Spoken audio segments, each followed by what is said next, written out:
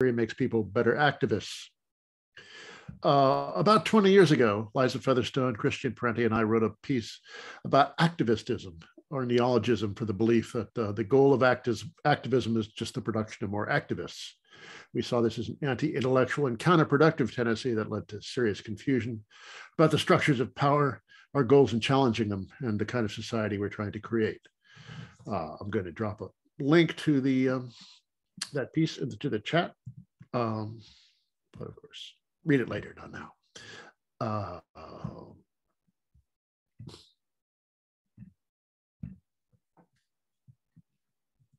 there we go.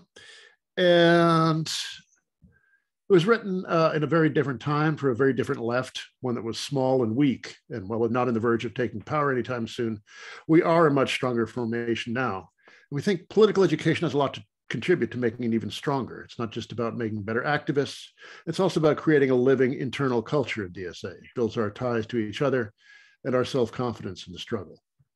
So I invite you to look at the rest of this semester's offerings. It's kind of funny how we're all still under the sway of the academic calendar, even those of us who haven't been in the school in a long time. I'd like to introduce our speaker, Jeremy Cohan. Jeremy is a co-founder of NYU's YDSA chapter and also of this night school. He knocks on lots of doors, co-founded a tenant organization, and has written on queer socialism and Herbert Marcuse. His day job is as a professor of at the School of School. His day job is as a professor at the School of Visual Arts, where he teaches social theory, politics, and art. And I should say that aside from co-founding Night School, Jeremy has, has been a leader in planning this and other activities of our political education committee. He's just been elected as co-chair of the New York City chapter, so he'll be pulling back from his tasks here, and we're going to miss him a lot. But we do have him tonight. Here's Jeremy Cohan to tell us why we should all be socialists, though I suspect a lot of us are already.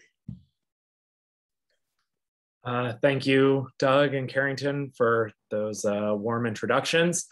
Um, so, as uh, Doug and Carrington said, I'm Jeremy, and I, you know, feel honored and excited to be kicking off night school this year with kind of our most big picture class. Um, what is democratic socialism?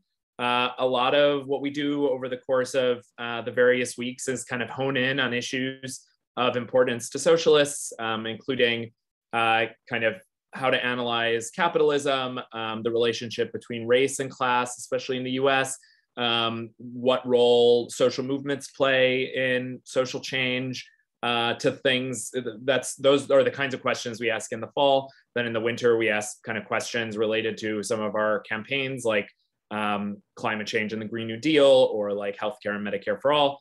Um, but we do like to start with kind of big picture things. And I think there are a number of reasons why it's worth starting with the big picture stuff. Um, Doug, I think, already pointed out uh, lacking a kind of compass um, and, and, that helps guide us um, as to where we're going, lacking a kind of common vocabulary of our values and what we prioritize, lacking common analytical tools for us to be able to think strategically together. Um, makes us weaker and the weaker we are the stronger the capitalists are um, so uh, i think it's important in that level also i think you know one thing i'm kind of going to come to this maybe more towards the end but i think as socialists um, we are committed to the idea that there are a lot of convincible people in this society as to our values as to our um, ideas about solidarity and organization um, as to uh, the kind of future we imagine and some of the steps along the way to get there. And so refining our own thinking, our own ability to articulate um, kind of what socialism is about matters because we're not just doing this um, for, you know, we're, we're aiming to ever expand um, our movement. We're not just doing this for a few of us to feel kind of morally in the right because we came to socialist conclusions when we were uh, you know 18 or um, maybe i know with the zoomers these days maybe when you're like 11 or something um, but uh, the you know to come to conclusions that we're able to articulate um, to a skeptical perhaps audience but an audience that um, and uh, you know other struggling people in the world who potentially could be won over to our side. Um, so i think that is one reason why i think it's worth like tarrying on the big picture stuff.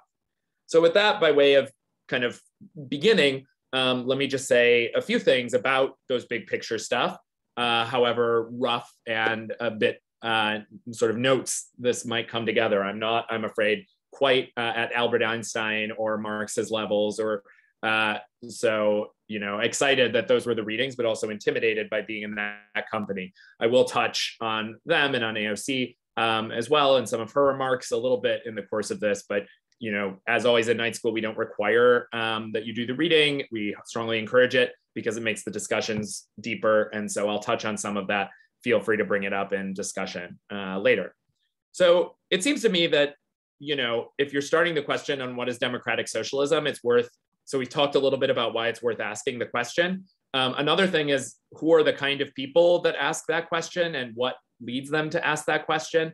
And to me, it seems like people become uh, socialists largely out of a sense that something is deeply wrong, um, that something is missing in this society. And it's not particularly hard to come up with a list of what those things are um, we, you know, see poverty amidst plenty. Um, millions of people, uh, I believe one to two million people in the United States that live on less than a dollar a day, um, let alone internationally, the kind of inequality that we see. Uh, amidst also people accumulating wealth and fortunes that are allowing them to imagine that they can leave the planet entirely. What kind of a world is that where those two things coexist? How could that be? Uh, I think, you know, if we want to go longer on, or farther on our list of horrors, we have um, a climate disaster whose impacts we are already reeling from. It used to be we talked about climate change as this kind of thing in the future that we had to be scared of, that it was coming. Now it's here. And just this last summer alone, we're experiencing the impacts, and yet our societies seem frozen, seem unable to take the uh, pretty sizable and transformative steps that would be necessary to transform our energy infrastructure, our transportation, our um, our whole lived and built environment, we seem frozen in the face of the tremendous tasks ahead of us. So, so people become socialists because of that. Um, people become socialists out of a sense that there's a crisis, and look, we're in the middle of a global pandemic that's killed in the US alone over 675,000 people. Um, people see something's wrong when they see shaky democracy, not just here, um, but all over the world, the rise of authoritarian movements that seem to be kind of safely perhaps buried in the past, buried in the history textbooks. Oh, that was 1930s. This is now. Um, but actually, that are uh, what limited democratic structures that we have are in fact quite endangered and not very stable. Um, what else? What else is wrong with the world that drives people to socialism? Imperial domination and war, a conformist press, gaping racial and class inequalities.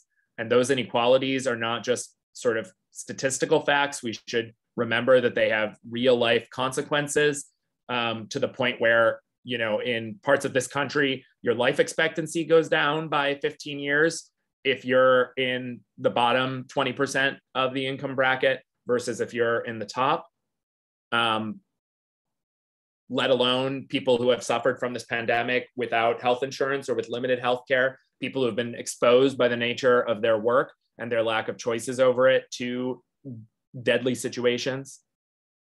Um, and overall a society our society characterized by tremendous spiritual and material needs. Um, people are driven to socialism because they have a sense that something is deeply wrong not to mention nuclear weapons. I mean i could go on um, but I, I, won't go too far on. Um, but so okay so people come to socialism because there's a sense that something's deeply wrong. Now i should say not everyone comes to socialism when they have a sense that things are deeply wrong. Um, what I mentioned earlier about these rising authoritarian movements across the world, other there are social groups, there are social moments where a sense of suffering, a sense of uh, being upset at the existing order pushes people in quite frightening authoritarian directions. to instead of seek solidarity, seek division, instead of seek democracy, seek authoritarianism. Um, so again, the, the kind of stakes of socialism is that people sense that something's wrong, but what people do with the sense that something's wrong is quite indeterminate. Another reason why it matters to discuss why it's worth being a socialist, what democratic socialism is, and why it provides a kind of alternative to other quite dangerous reactions to the malaise and crises of our times. Because um, these are dangerous times, these are serious times. Um, we hope maybe they're socialist times. So, okay, so say we're trying to convince people there's a sense of crisis, there's a sense that something is wrong in the world. Um, and we're trying to turn people towards a, a progressive way out of it, as it were, a way that looks forward, not backwards, that looks towards some sort of humane world, not towards an inhumane, uh, violent, destructive one. Then it's incumbent on us to articulate what these humane values are that we believe socialist politics stand for, um, how we have some plausible way of thinking about how the world might reflect our values more, and finally, sort of what our ultimate vision for a better society, a better world looks like. So let me start then with what I take to be kind of some of the core values core commitments of socialists. Um, I think there are a lot of ways you could divvy this up, but I came up with uh, around five. Um, it seems to me that kind of core value for socialists is equality. Um, equality in a number of senses. Uh, first of all, that every human being has a basic moral equality with one another, that human beings are fundamentally uh, cut from the same cloth, and that the divisions between us are artificial, are products of uh, long histories of domination, exploitation, intolerance, uh, violence, um, and that we all have a common stake equally in the future of our species and the future of our planet.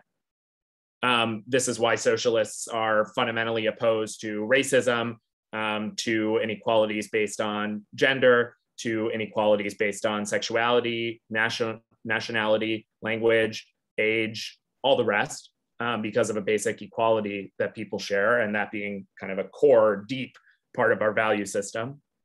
Moreover, I think that commitment to equality is in part sort of a, a end in itself, but also it, it is related to kind of an analysis, um, and maybe I'm shading into the analysis part that I'll get to, but it's related to an analysis of what happens when we don't respect equality, which is basically when people with have uh, undue concentrations of power and resources, they undermine um, the basic consensual aspects of society. Uh, domination power, follows the concentration of power uh, and the concentration of wealth, and domination is a fundamental way of undermining other values that we care about. And I'll get to those in a second.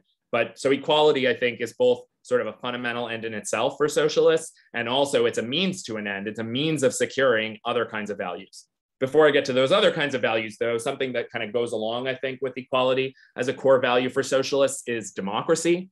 And democracy in a very deep sense. I mean, I guess it's in our name, democratic socialists, but it's worth thinking about like, why do we care about the democratic part of democratic socialism? Um, you know, is this just some Cold War relic where we want to say like, no, no, we really mean we're not the Soviet Union? Um, or is there a sense in which uh, there is like a deeper commitment socialists have to democracy? And I do think there is. I think the Einstein piece is uh, really good on some of this, where Einstein talks about like, you know, why he fundamentally believes that it's not just economic experts who deserve to talk about the future of society. And there being a few reasons for that. One, because economic experts are bound up with the existing system of power. And so oftentimes their expertise is just a way of reinforcing power. But two, also because socialism is fundamentally about human values, and there aren't like really experts or non experts in value. Um, our values, what we strive to do together, the world we strive to create, is something that we all have to do together. It's sort of incumbent on all of us to make together. Moreover, I think a commitment to democracy is based on, and deep democracy is based on certain kinds of fundamental values that I think, you know, are impulses that socialists just have that, you know, not everybody in this world have, especially not elites in our world. Um, so the idea of just like basic human competence and intelligence that people can generally rule themselves and generally know what's good for them. And generally, if they're given enough information um, and resources, will do things that will be to their own benefit and to the benefit of those around them. Um, and also, based on that idea of general human intelligence, uh, that people deserve to have a say in a, decisions that affect them. Um, that and that's includes in various parts of their life. And I'll get more into our analysis why, if you have the values of democracy, capitalism is so, in many ways, very repugnant to those values because the idea that uh, our social arrangements ought to be based on treating each other equally and on general consensual relationships is uh, not characteristic of the way we spend the vast majority of our waking lives, even in a democratic society like the United States, uh, nominally democratic society. I do, I teach a little bit on democracy with my students, and I always say, you know, if you're puzzled by certain aspects of America, just stop assuming it's a democracy. And then a lot of things actually make a lot of sense um, about what our society is and where it's going. Um, treat it a little more like an oligarchy, but we'll get there.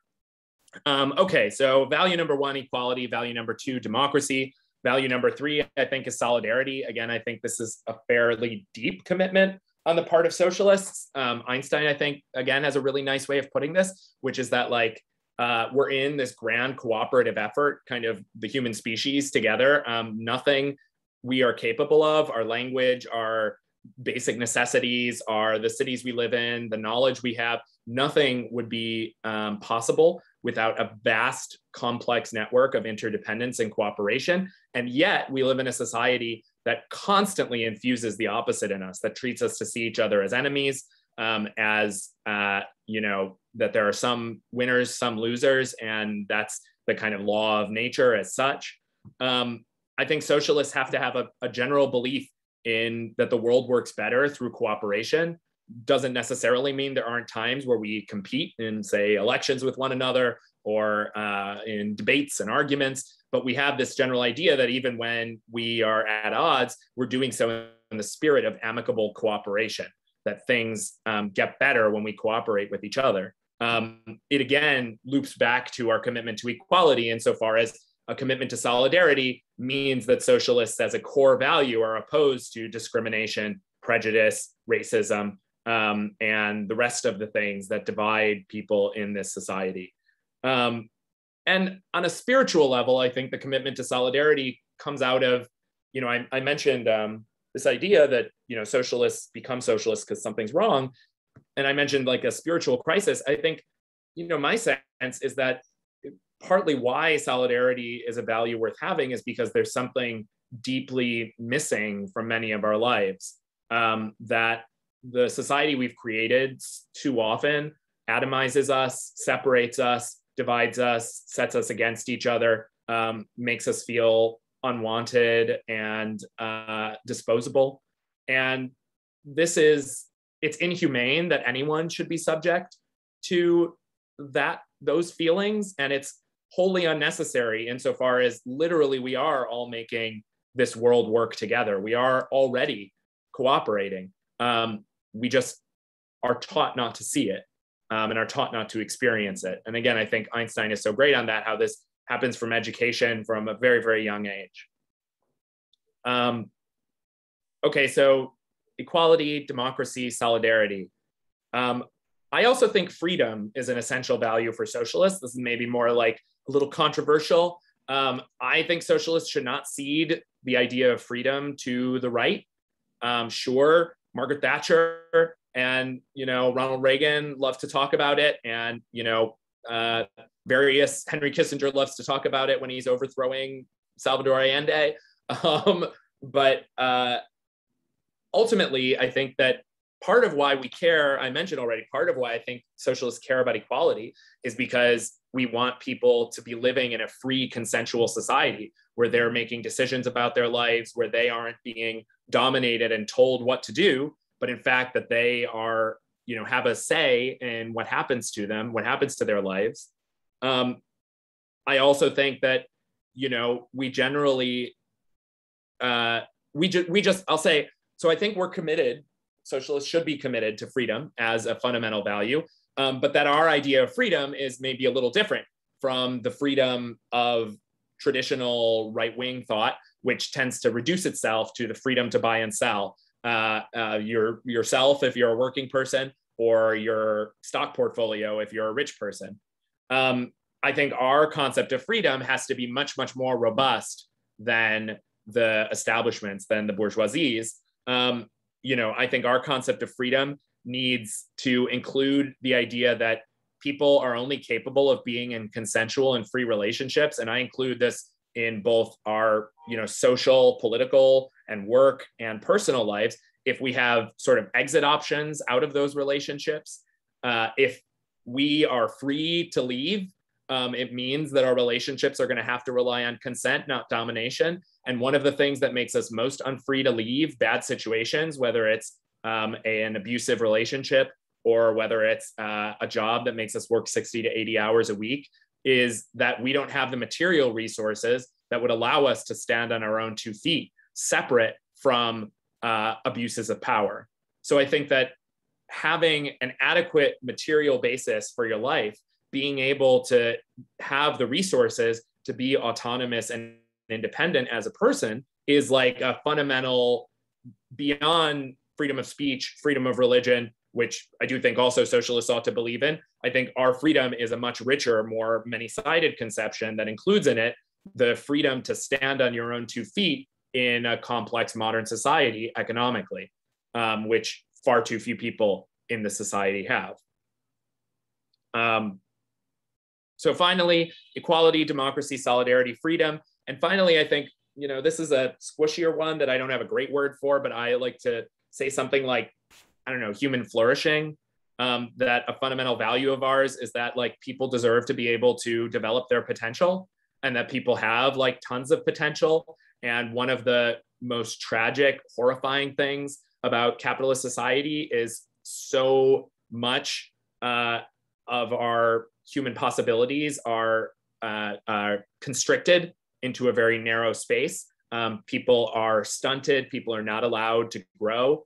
Um, I thought, think in Einstein, uh, the Einstein piece, he has this great line: um, "This crippling of individuals." I consider the worst evil of capitalism. And I think it's a great response to the kind of idea that, oh, socialists don't care about the individual, they only care about the collective. That's why they repress individuals, blah, blah, blah. Um, I think that is kind of a, a core value is that people need to be able to flourish. I should say also that obviously one should have a rich sense of flourishing that also clearly includes the kind of basis of our lives, which is like having a nature that we can live in, like having a species that can be alive. Like if we are kind of forced into um, the worst forms of misery, competition, scarcity, hunger by climate change, um, that is hardly a situation of flourishing uh, that I think we can say is a fundamental value for socialists.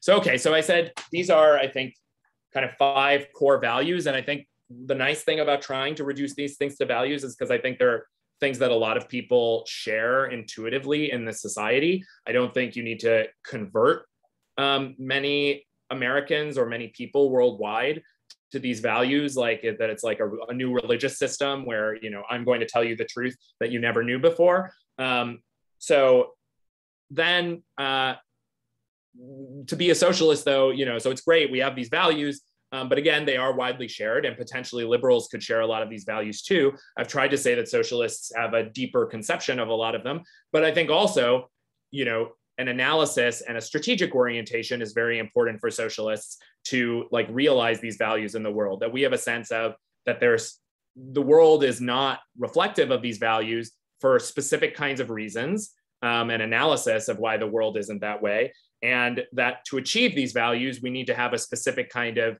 uh, orientation, a specific kind of strategic perspective um, on how to transform the world. Um, I don't want to go too far into this because I already am going over time.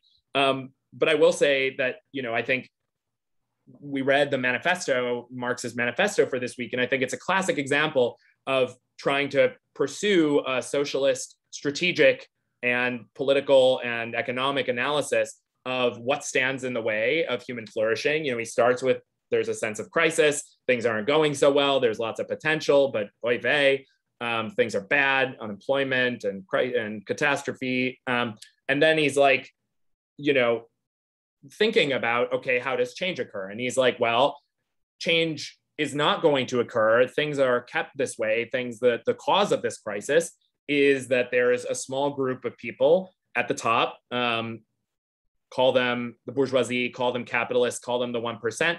Um, they are the central barrier to uh, social progress and social change. And I do think being a socialist means you're committed to believing that the a very small elite is the central barrier to uh, a world that reflects our values and avoids the crises that we've talked about. Um, so there's a small central group that uh, has extreme amounts of wealth and also makes its living through investment, through and uh, through making money by investing money, um, and that investment could be sometimes just purely on the stock market. Generally, kind of trickles down into what is sometimes known as control of the means of production, uh, i.e., that people have uh, those people control the tools and the factories and the um, the hospitals and the workplaces and the tech algorithms and the like that keep the rest of us going. Um, so there's a tiny small group of them, and then there's a big group of working people. And those working people and that investor class, that capitalist class, have fundamentally opposed interests. Um, so, on the one hand, that small group is what's standing in the way of social progress. On the other hand, there is a fairly large group in society that has an interest in creating that progress. Um, I should say that small group has uh, so much power for many reasons. One, because it just has a lot of resources. Um, two, because it has tremendous power over politics uh, in order to block the common good and in for the sake of their private interests. And so I think that, like, you know, that's in a sense why this group has so much power. And socialists say capitalists are the barrier to progress. And then on the other hand, you have um, a vast majority that has opposed interests. And what do I mean by opposed interests? That they would be better off if capitalists were not getting the things they want.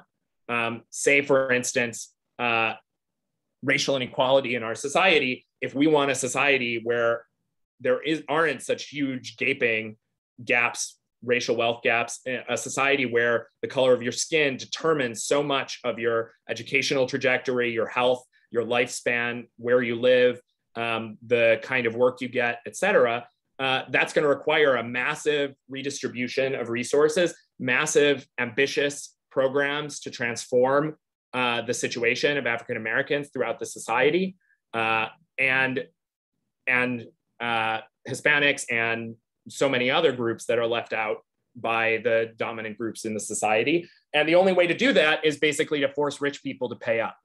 And so, rich people for socialists are a barrier to all sorts of positive social outcomes. Climate change, I think, you know, the connections are maybe fairly opposite, uh, fairly clear, but you know that fossil fuel interests stand directly in the way of transitioning away from the things that are warming the globe and uh, and as we see in the current debates in the uh, legislature and the national legislature, um, other capitalist interests stand in the way of infrastructure investment, of transforming the built environment, et cetera, et cetera. So the interests of the majority are against those of the minority, but the majority, it's not easy for the majority to take action for the reasons we've already said. So in order to achieve a world where it fits closer to our values, we have to get over the barrier of this elite group.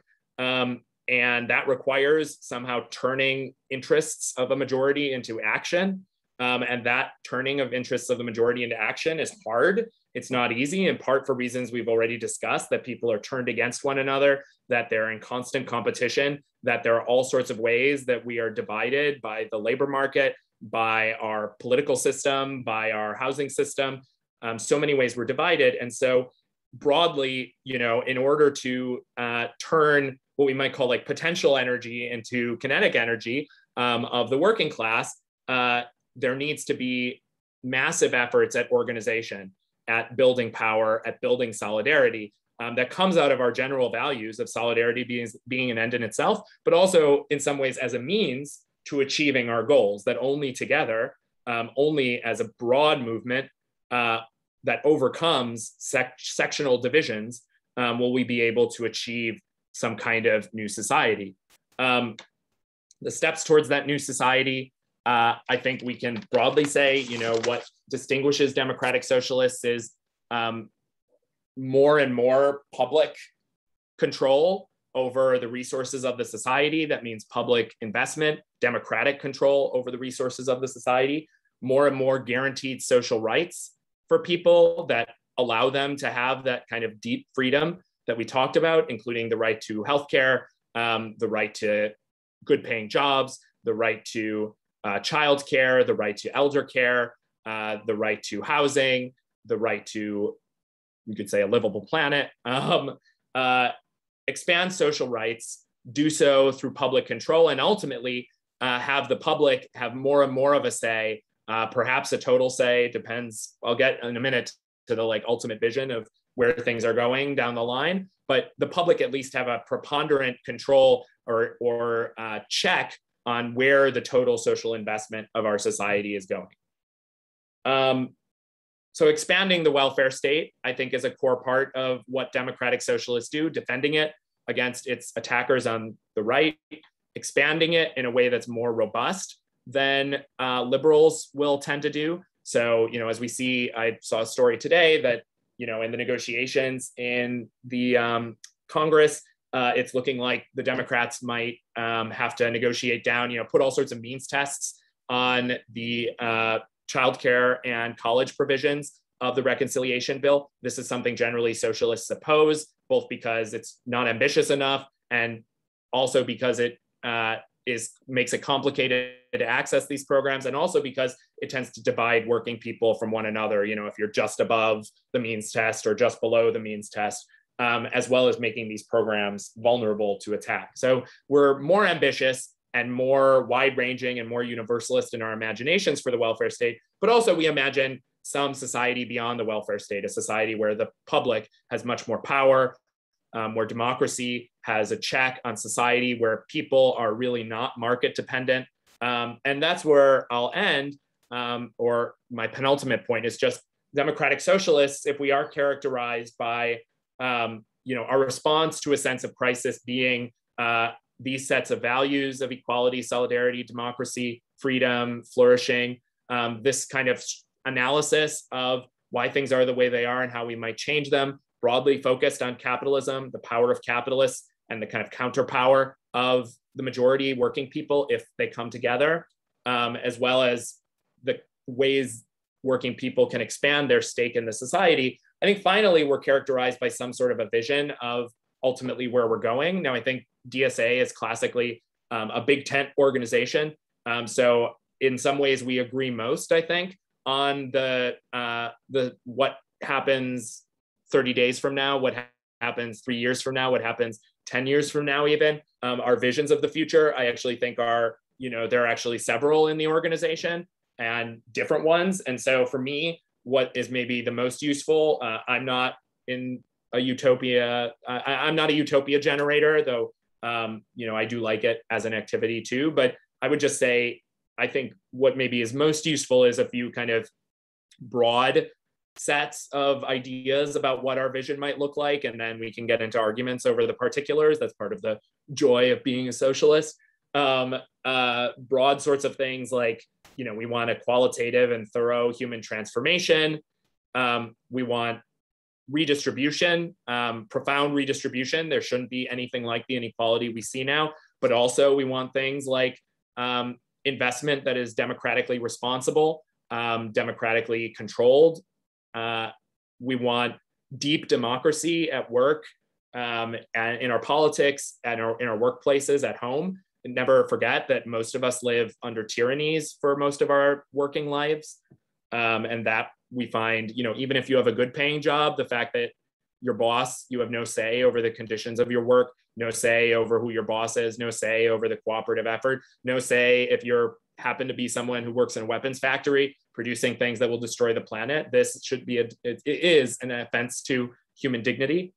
Um, and I think a future society would, as I think I mentioned, free people from market dependence, um, allow them to have good, flourishing lives without having to worry about um, whether they have a job or not, which would give them more power in saying hell no to bad jobs. It would also just generally allow them to live dignified lives. It shouldn't be, um, it shouldn't depend on your income level, whether your child gets decent health care. I was moved by this. Um, Phara Souffrant Forrest mentioned this at um, the uh, fundraiser on Saturday night, uh, Saturday night that uh, I think it was her, um, that it, you know, seeing uh, babies treated differently in, in a maternity ward in a hospital because of their level of insurance, how deeply fucked up and wrong that is, and what an offense to human dignity, and how that arises from people's market dependence and how we need to fight it.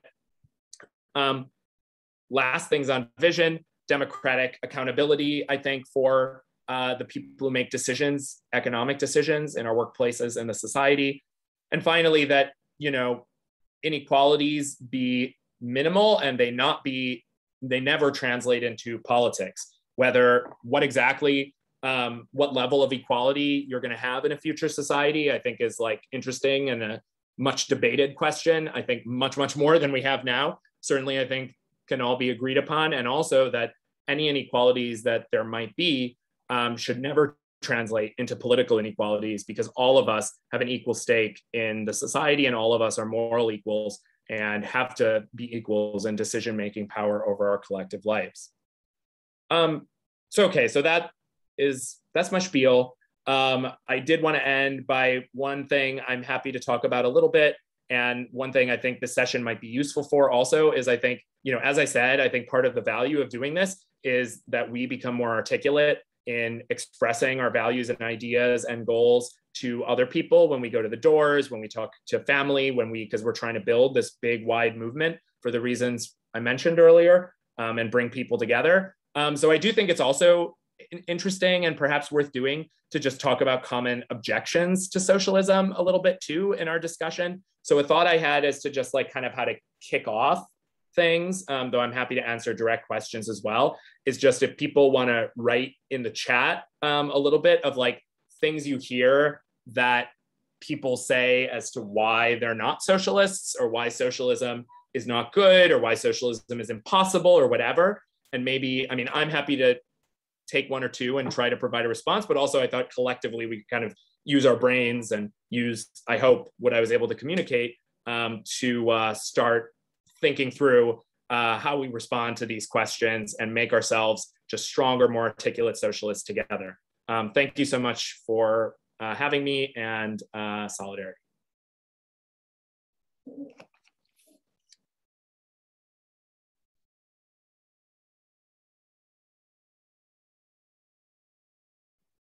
Um, thank you so much, Jeremy. That was really enlightening. Um, I think uh, before we, we go forward with questions and discussion, um, Mia will read the community agreement. Yes, um, Jeremy, let us know if you um, have time to maybe take a few open questions before we have a discussion. But um, thanks for the great talk. I have a lot of good notes that I'm excited to discuss with everyone. Um, and seeing people participating in the chat, which is awesome. And um, I'm sure everyone will be lovely and comradely. But just to go quickly over our community agreements, um, they're pretty simple. Um, so if you would like to ask a question, which I guess if we're doing it in that format, you can type uh, stack into the chat, just like I ju just did, and we can call on you and help facilitate that um, for any questions you may have, but please do continue typing your thoughts um, in as well. Um, and try to keep your questions brief if you are like speaking out loud, just to um, be mindful of everyone's time. Um, and always assume best intent. We're all here to learn. Um, so if anything, you know, sounds off to you, we are here to have a productive discussion. We're all trying to just deepen our knowledge on these topics. And I think that covers most of it. Did I miss anything major, um, Jeremy or Carrington? Okay, sorry. Um, I will go back if I remember if I remember any others, but um, let's see. Yeah, I sort of love what people are popping off in the chat. Um, actual like objections to socialism. Yes. So I'm happy to like spitball a little bit, but maybe you know we can just generally if yeah i mean one i did want to just point out ob in the chat included an amazing quote by john stuart mill that um, i recommend to everybody uh, it, human nature is not a machine to be built after a model and set to do exactly the work prescribed for it, but a tree which requires to grow and develop itself on all sides according to the tendency of the inward forces which make it a living thing. Um, I think that's really beautiful.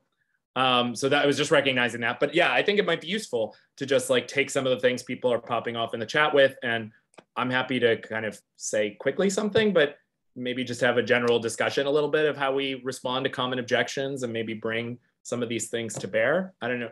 Is that okay, Mia Carrington? Um, so I thought um, the uh, aren't people naturally assholes that Steve has in there, um, I think is a really good one. Uh, and yeah, kind of curious. Um, maybe someone else wants to take a stab at replying first before I try. Um, the way we do that, by the way, is we generally, uh, sorry, Carrington, Carrington should reply because Carrington's great. Um, also, if you want to get on Stack to reply, um, generally in these sessions, we just put Stack in the chat, like so, as Mia said. Um, I was actually going to call on Jorge, who responded to you in the affirmative. Um, Jorge? I was being mostly joking, but basically, like I was, even if even like I don't actually believe that people are naturally assholes, but even if you believe that, therefore you must have a system that accounts for that, and therefore that everyone is taken care of given that nature. Even even even at that point, even if people are naturally assholes, you must have a society that is structured such that everyone is taken care of to control those kind of arguments regardless. Yeah, so I love that. There's a line.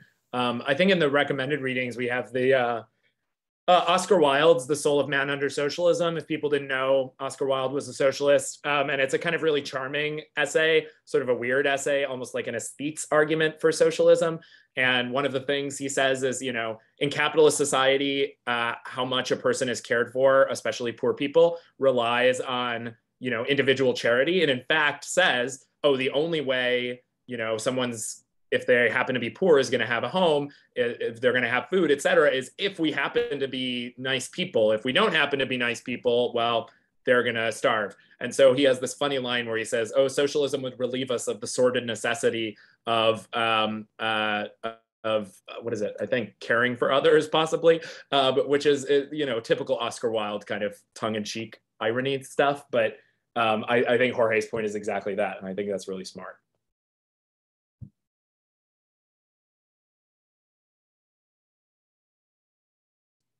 do you um jorge why don't you pick one now and respond to it? Let's let's let's make this a little round robin or something. Sure. Um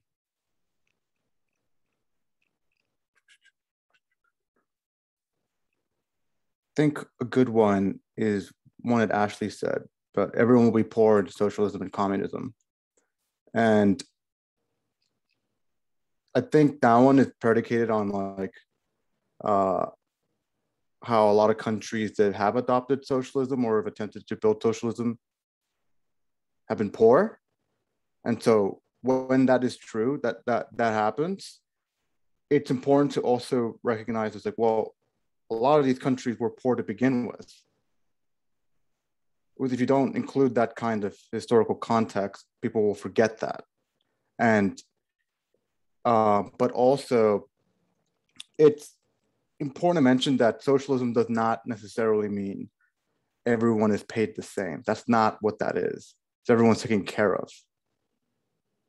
And that is a very different thing than saying that everyone's paid the same, which is a similar, uh, uh, which is similar, which is what I think a lot of people are kind of getting at when they say that. It's like a it's like oh everyone, every, you know, the pie is small, so you're going to distribute the pie to everybody. But but then like no, everyone's going to be equally poor. It's like well, that's not necessarily true. Yeah, exactly, Steve. We don't want to also we want to get rid of that kind of considering of like value in society. Um, I think one other way I respond to this, I agree with all those. I think one other way I tend to respond to this is just like, you know, when even if we're talking about like advanced capitalist countries like the US or um, like places in Europe or Japan, like when those countries were at their most socialist, i.e., when they, you know, had the most rights for working people, the most unionization, the most like they were also at their richest. Um, and, you know, they were also growing very, very fast. So that's not to say that New Deal America or even Sweden, though, you know, I am like a Sweden stan. Um, that's not to say those were democratic socialism, um, but it is to say that like if we think about a spectrum from like capitalism to socialism, societies that were closer to socialism um, actually did just fine on economic growth. In fact, better than our like newly vicious capitalist societies of the present day. Um, we have someone on stack, David Diaz. Uh, yeah, just um, thank, thank you for, for this initiative. I think it's great. And it's great that DSA is um, doing these uh, political education sessions. Um, completely agree that it, it is fundamental that we, we uh, take the time to discuss these ideas. I was just wondering, uh, one thing I hear is that, you know, with a lot of DSAers, um, the political vision that you just espouse sounds more like what you just mentioned, like more like a return to the 1960s, 1970s social democratic welfare states like Sweden or Denmark or Scandinavian social democracy, so to speak, as opposed to, say, a more Marxist oriented uh, socialist model, I guess. Um, and I guess back in the day in the 20th century, I guess the Soviet Union was that model, which, as we all know, collapsed. Um, but um, I was just wondering how uh, how would you respond to people saying, "Well, this sounds more like a radical liberalism or social liberalism, or even an FDR kind of politics"? I think Noam Chomsky at some point called Bernie Sanders, and he didn't really consider him a democratic socialist, but more of an FDR New Dealer. Um, and so I was just wondering, uh, that's my first question. My second question is, how do you see the role, for example, of political economy specifically? Because I think in, in my view, I think one of the things that differentiate or should differentiate someone with a socialist politics is like a keen understanding of political economy and the role that different our positions within the, econ the economy oftentimes determines our politics and, and, and, and having this materialist view of politics. So that's basically two questions. Yeah, thank you.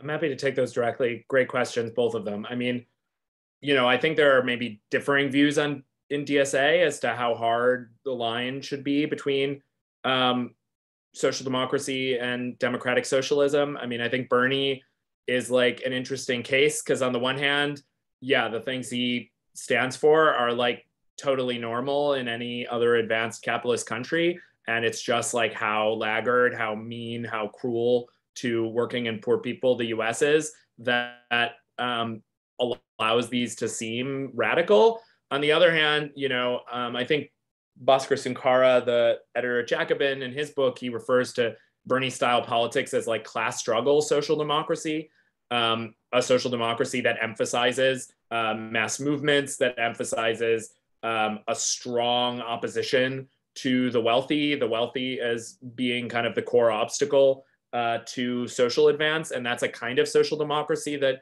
hasn't been around for a long time. And I think that's why I think it's also kind of complicated because, you know, the people who, the people who built the, the Swedish welfare state were like, were not uh, that like, maybe there's an image of like lame social democrat or something. Like many of them were very Marxist and definitely believed that like what they were doing was not the end of the process. Like that they were building something that would lead to a next step that would lead to a next step that would lead to a next step. Now again what that final vision is whether it's central planning or whether it's some kind of market socialism i do think you know is is a debate i think a live debate on the left these days so i don't want to come down on it one way or the other.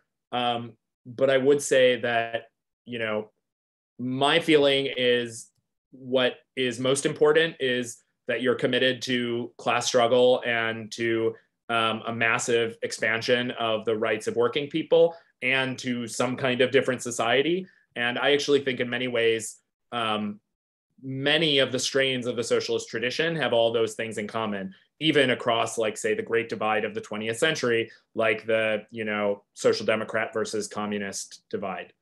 Um, so that's my own thoughts. Uh, other people might not agree with that take.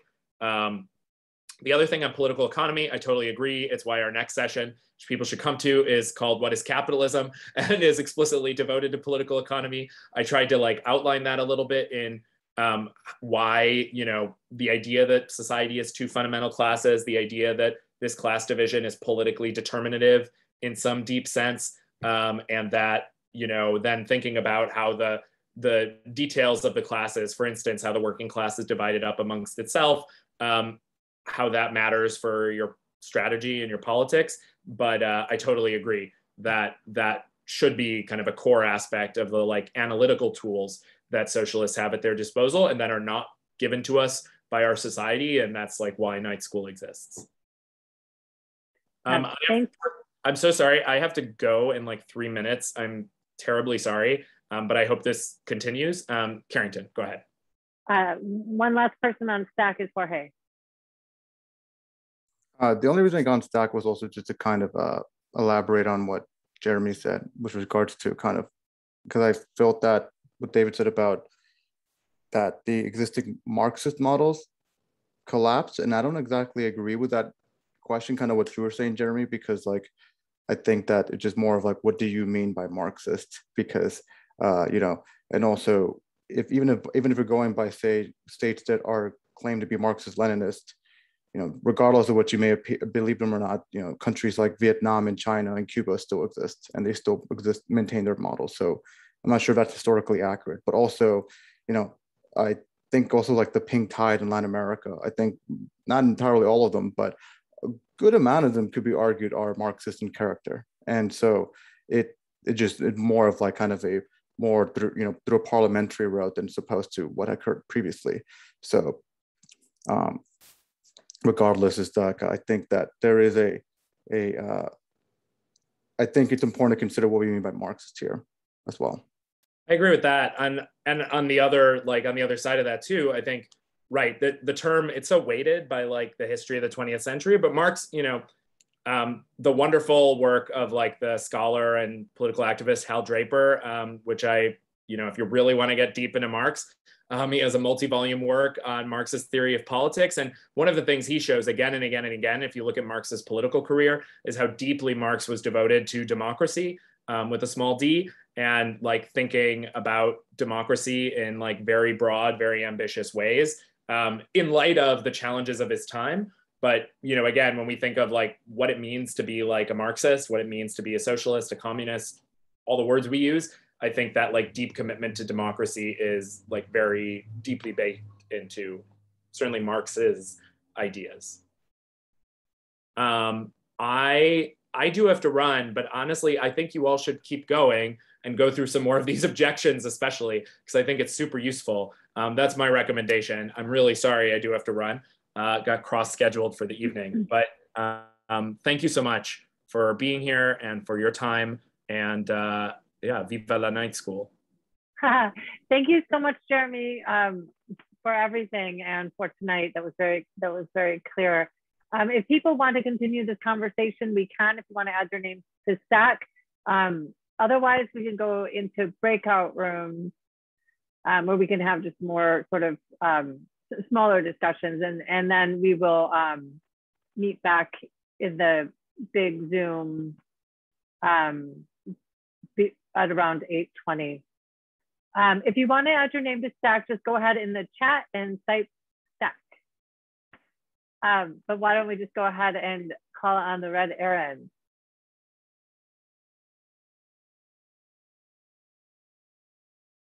You can just start speaking if you unmute yourself first. Hi. Uh, I, the only, only question I was going to ask is, you know, what what about just the uh, numbers are really low of socialists in the United States compared to the mainstream political parties, like uh, Democrats and Republicans and independents are so so so much in number than compared to a socialist.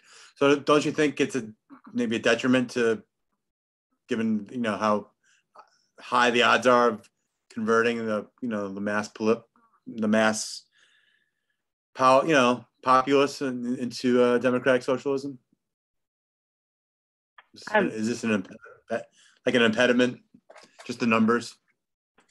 Thanks, thanks, Aaron. Doug, do you want to take this one?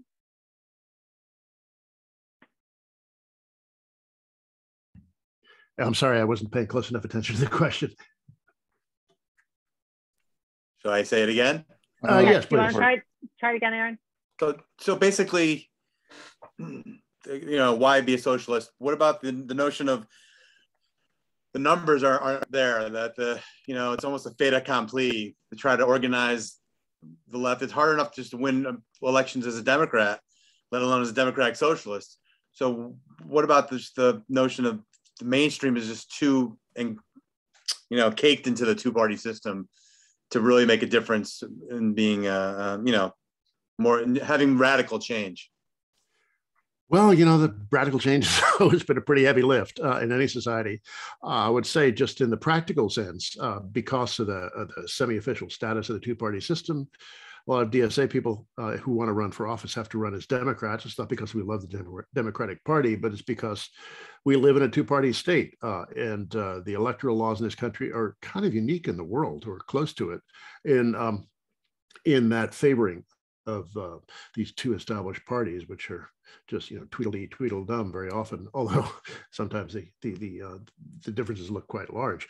Um, but uh, on the other the, the broader question, um, I think um, you don't get anywhere in this world unless you make radical demands, uh, and most people are pretty disengaged in politics and a very well organized minority. Uh, uh, DSA is what 90, 100,000 members now. Uh, we're in getting big enough really to make a big difference uh, or make an have an influence. Uh, and uh, the mainstream is utterly bereft of ideas, as um, uh, French political philosopher Alain Badiou said recently. Um, the bourgeoisie is totally lacking in a civilizational project. They've got no idea of um, what to do or how to confront the crises that face us, the social and ecological crises that face us. So, you know, we've got a lot of answers. We've got questions, but we've also got some answers. And, um, uh, you know, I don't remember a time uh, since I was a teenager, which was very long ago, when there was such a prominent left socialist movement in the United States. Uh, we have uh, one of the most vigorous lefts in um, the northern hemisphere right now, which is a very strange thing to um, experience. Um, so you know we're uh, we're certainly not about to take power, but we can have an influence, uh, and um, uh, I, I, wouldn't give up on the project. Um, you know, the socialism or barbarism choice is, still feels more real than ever right now to me. Um, thanks, Doug and Aaron. Um, on stack, we have CJ followed by Mia. CJ? Um, I think that when I hear questions like, um, isn't it hopeless? Is it an accomplished thing already and um, determined? The, I, I, I, I, at that moment think, well, that has to be um, more central. It, something has to be more central to socialism than what is being cent- centralized right now. Um, I think one of the challenges to socialism is that it is seen as a white person's ha- uh, white person's group, and it's such a lie. You know, Che Guevara and then um, uh, Angela Davis, the Black Panthers. I mean, all of this has been done before, but we have to watch about the whitewashing of it. And the reason why I uh, associate the whitewashing with uh, the the idea of is it worth going through the trouble is because there has to be like some level of privilege and un um, urgent some some lack of urgency uh, that would think the numbers are too big and therefore we won't do it. It really centers around people who have other choices to survive in this particular society as it is. And um, I don't know if DSA is ever going to um, confront change or, or, or grow out of this, this, this white culture majority. But I, and I'm not sure that it's necessary that they do or don't, because I know there are other groups that are working just fine towards changing society. But I just think it's an opportunity to point out um, that fatalism is a privilege and to, to be more careful and observant about how privilege plays in this movement. Thank you very much for listening. I'm complete. Mm. Um, thank you, CJ. Mia? Um, I was going to actually raise uh, something about another point someone raised. So maybe we should give a chance if anyone wants to like respond to that or has thoughts related to CJ's comment. I could go. Yeah. Um, so I think what CJ said is totally fair. Um, I'm of the opinion that the most important um, influence on the modern contemporary American left has, in terms of like the recent, since, like since the 60s, was the Black Panthers Party. And the reason why they're, and an aspect, the reason I think that is because an aspect of that is that they were so extremely effective in such a short period of time and with such a small amount of people. And I think there's not an accident that it was by, you know, led by Black people that, that this was the case. And the reason I mention that is because every society is different. The, every society that has class is different. But in our society, the people who have been, where there is a nexus of the most of the brutal, brutalization of capitalism tends to tends to cohere among the most marginalized in society. And that tends to be people with respect to nationality, whether it be indi- people who are indigenous or people who are undocumented, or those who are viewed as other in the sense of you know black people or or Muslim, right? And I think that's something that's really important to consider. Now, what I am saying is not this is not to suggest that say lived experience gives you this unique insight. What I am saying is that groups of people who have been affected in this way have a much more clear understanding as to what is what how capitalism affects them directly, given the way that they that the barriers that are in the way that their that their life is structured, but also they have much more to gain in a society that is fundamentally restructured. So to kind of the point what CJ mentioned is that I do think that there is a certain limitation to uh, DSA being as you know white as it is in terms of how to do that. So the best way to do that and I think this is a task that's ahead of us in DSA to grow our numbers, to kind of address the question from before of how do we, you know, given the fact that the Democratic Party has 80 million, Republican Party has 70 million people, is that uh, we need to focus is depoliticization. Some people are depoliticized; they don't engage in politics, and it's especially especially prominent in, you know, I know I know it's the case in the Latino community, I know it's the case in the Black community. You know, just be people are they just don't believe that they can change can happen and how can you blame them so you have to make them believe that it's possible um, thank you jorge mia do you want to go now um, yes, but I also see that Lee, um, he sent it as a direct message, so it's not viewable. But um, Lee, is your comment related to this discussion? I just don't want to interrupt the flow. Um, yeah, Great.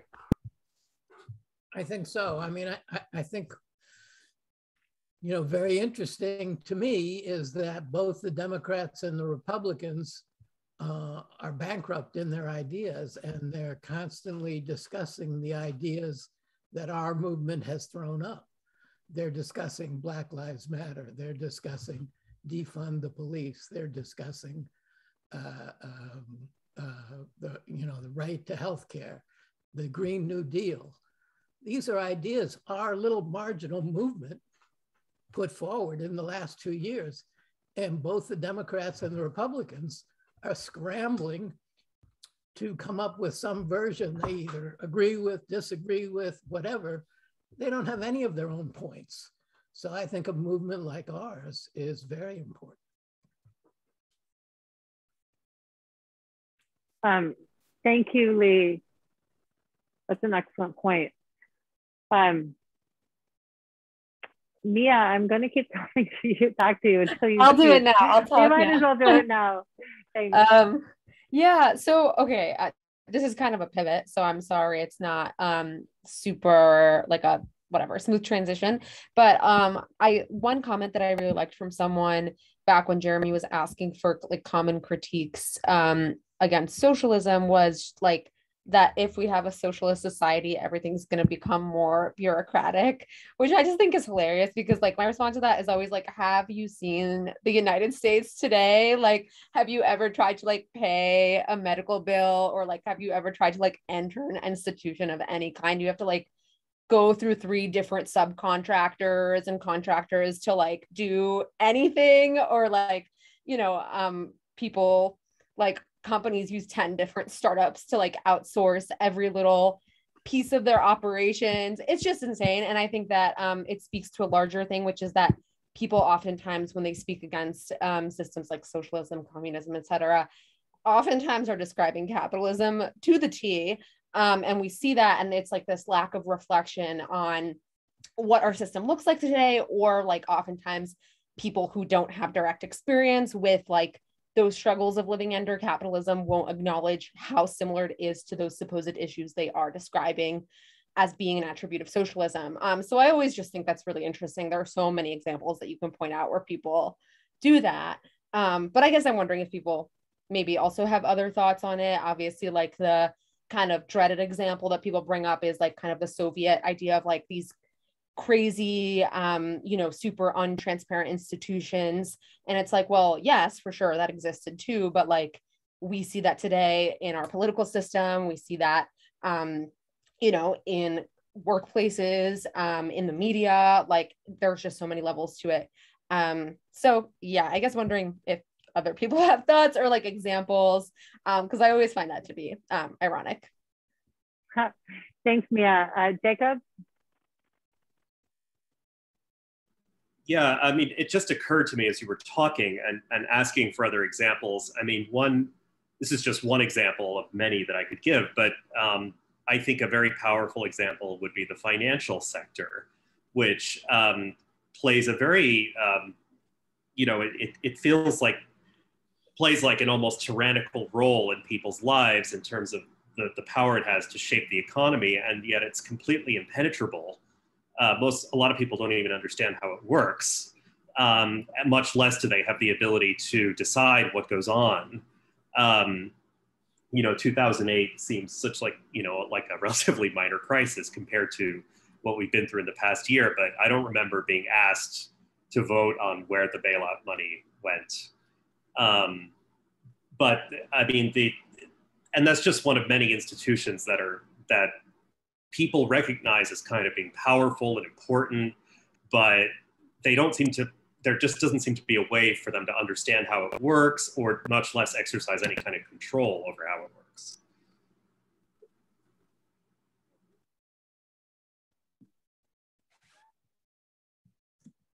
Um, thanks, Jacob. Uh, Doug would like to comment on that. Yes, I, um, sorry, oh, this my camera keeps going on and off. Um, I just want to make a very brief point about finance is that it's so abstract that it seems to have no human agency behind it. So that even though uh, financiers, uh, investors, whatever, have a great deal of influence over public policy through the municipal bond market, um, and also how corporations are run through the stock market, they're not seen as such, uh, and they they can they're, they're like absent dictators. They're they're doing this work, and most people can't understand what the mechanisms of action are, or the the the, the society behind it, or the, the social structures behind it. Um, you know, at least in the case of the Soviet Union, the nature of the bureaucracy was very apparent to anyone um, the nature of our bureaucracy is often very highly abstracted and operates through mechanisms that uh, are often seen as, and uh, the bourgeoisie promotes this view, as forces of nature uh, rather than um, products of human intention and organization. Um, thank you, Doug. And uh, so no one is on stack right now. If um, if anyone wants to give any comments or any sort of ideas, questions, comments on the text, um, now would be the time. Um, I know I'll, I'll just say with the reading the Communist Manifesto, I don't know how many times now, but reading it again, just how it struck me that um, that where he says like the bourgeoisie have um, have no right to sorry that they they just have no business ruling because they they are um, they're like Lee said bankrupt um, and I just think like, what can we do? And that's why I'm in, I know that's why I'm in DSA is like, I know I can't do it alone. Um, and so the more people that are involved, um, the better chance we have. Um, so uh, indeed we are up against it. But um, one thing that the thing that really struck me more than anything is that it's like a it's like a, the the ruling elite just have like are winning the war on meaning. Like they've just destroyed everything meaningful in life like it that it's been reduced to like a dollar sign. Um and i and i just think like that's really worth fighting for. Like um you know i just I, you know the people i know who um you know have kids and they're working two jobs and they get to see their kid for like 20 minutes in the morning and then the kids are asleep when they get home from work. And I, I mean just uh, how people are supposed to get any like bit of relationship in our current society i mean it's a failure. And rather than go down with this ship like what can we do to save it? Like I, I i don't think there's a ready answer but i think we do need to be united to do it. And so um you know, we're going to ask everyone to join DSA and get your friends to join DSA. And yes, we would like to be every have every color and class represented. Um, but uh, all we can do is make ourselves available and be as effective as possible. That's all I've got to say. Does anyone want to add anything else? We're going to get to the closing part soon. Jacob. Yeah, I mean, this is, you know, maybe kind of a touchy feely add on to that. But I, I mean, in terms of the, the war on meaning and the way that um, the bourgeoisie has kind of stripped um, existence of, of all meaning apart from um, profit seeking, um, which is really just survival for most people. Um, I think that this sort of lack of meaning is part of what is driving the rise of the far right. Um, they're offering a, meaning in a sense. I mean, it's a perverse and terrifying kind of meaning, but they're offering a community that has that gives people that um, gives people meaning to be a part of. And I think part of our work is to offer an alternative form of community that is humane and um, you know enlightened and progressive and all of those things because uh, capitalism strips us of our sense of community, and people can't tolerate uh, living without that sense of meaning and community. So, yeah. Um, thank you, Jacob. I know the um, the suicide rates were like off the charts prior to COVID. I, I tried to look them up, and I don't believe them really. Like what I'm saying, they, they apparently they've gone down. I don't know, but um, I, I know even like doctors and things, that the the suicide rate skyrocketed with doctors, and you know that should be a meaningful profession, and it absolutely is not. They're just dealing with bureaucracy. Back to Mia's point. Um, so, uh, yeah, Doug or David, do you want to say comment? Final comment. Oh no, I just uh, put a quote uh, of the Communist Manifesto, um, a very famous quote. I think it's in the Communist Manifesto, if I'm not mistaken. I've read it a couple times. I didn't read it, reread it this time. I just didn't have time. But I think it's like a very It's beautiful image. It's a very beautiful image. The Communist Manifesto, by the way, is such a beautifully written piece. You know, uh, very engaging and so prescient in its analysis. And it's amazing that it was written in 1848 when you know capitalism, you know, was in its infancy it was in you know dawning you know as it's starting to expand across western europe but like most of the world's population was not under the capital form of uh, of production. So it's just the i mean that book is just or that manifesto is so prescient. So um yeah so i mean i think it's i mean capitalism is definitely a system and particularly the current ver- version of neoliberal capital certainly I, I mean I, just want to reiterate what you were saying in the terms of like the dissolution of meaning and the framework of meaning. And what we're offered is basically consumerism, you know, uh, which tends to be vacuous and, and empty. And at the same time, along with the dissolution of meaning, we're seeing part of the reason is that, you know, in many of these places where we're seeing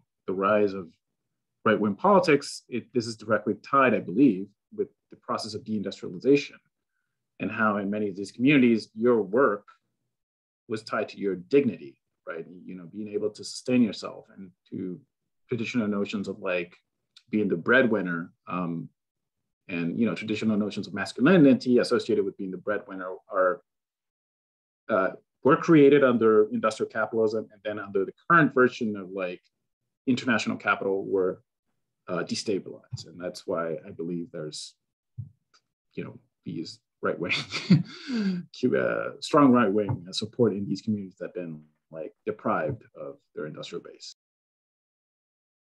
Thanks, David. And um, Doug has one last comment to close us out.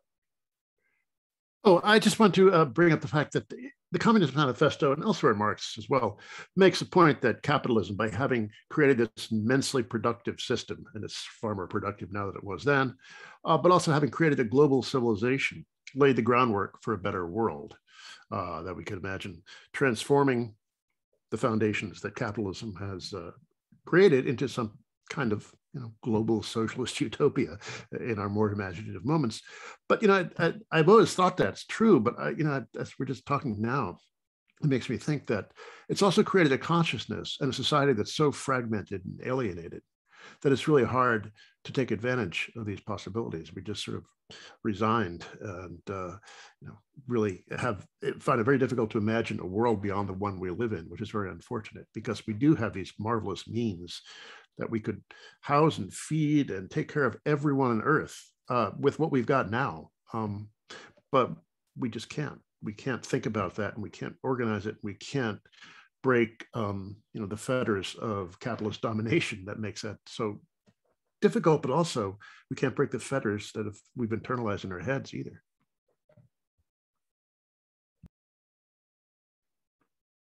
Agreed. Uh, thank you doug. Well i you know this has been a great conversation. I hope everyone comes back and joins us for the rest of the semester. We've got lots to talk about. Um, unless anyone else wants to go on stack, we're going to go to uh, closing announcements.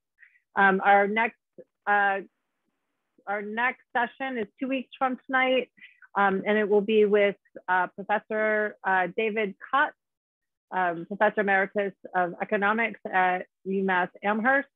Um, and the, the session will be on what is capitalism, which we have to know what capitalism is if we want socialism, because that's what we're up against.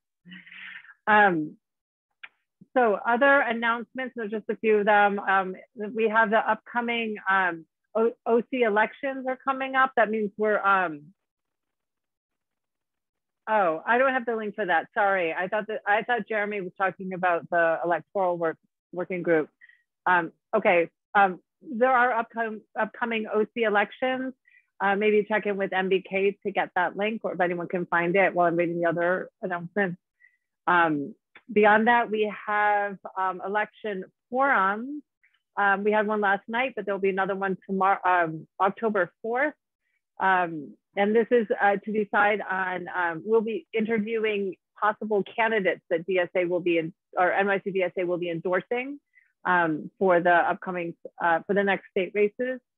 And then there will also be a forum. It will be joint uh, Brooklyn and Lomond on Thursday, October 7th. And that one will be a fun one at Verso. It'll be half, you know, be hybrid, um, partially at Verso, and people can also dial in. I know seating is limited. So if you are interested in that, be sure to um, RCP ASAP.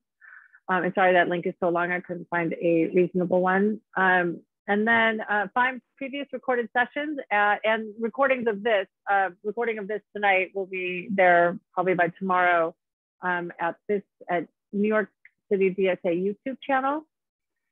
Um, finally, please join DSA and encourage people you know to join DSA because we're the best thing going um, right now in this field. Um, we're the biggest, we're, we're almost 100,000 strong, um, but we need, we need dedicated people and um, we need all the help we can get. So please join DSA and if um, and renew your dues or pay monthly, you know, so you stay, stay DSA member.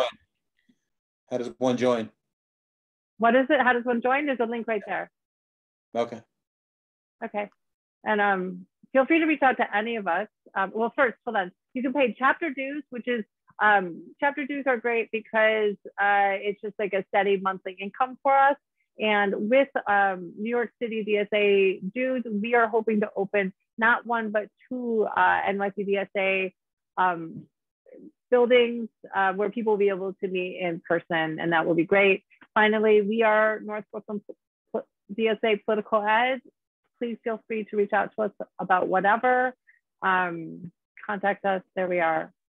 So any other questions? Um, Aaron, yeah, feel free to, you can reach out to me or to NBK Polyed or just go ahead and click that link. Thanks everybody again for joining us and hopefully we'll see you next time. Thanks, Carrington. Okay, have a good night. Thank you for coming, everyone.